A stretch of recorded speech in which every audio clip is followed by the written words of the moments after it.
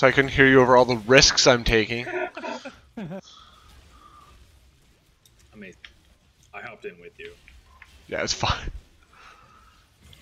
Yes. I was like, hey, look, I wall. I can get on the other side of that now. I should have avoided you and well, run away.